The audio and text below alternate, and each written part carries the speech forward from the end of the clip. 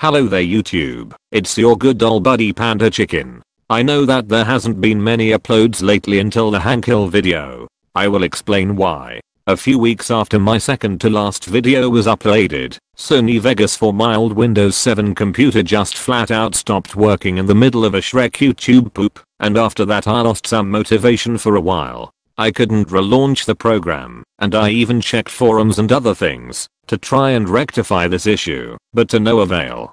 That's when I decided to just stop trying, and rely on animations and very shitty music as my secondary output. However, I once again got hit with the short end of the stick, and as I was working on some stuff, I lost my drawing tablet, and my Windows 7 computer finally died, after being so old. However, like it says in the video, I got a new Windows 10 laptop.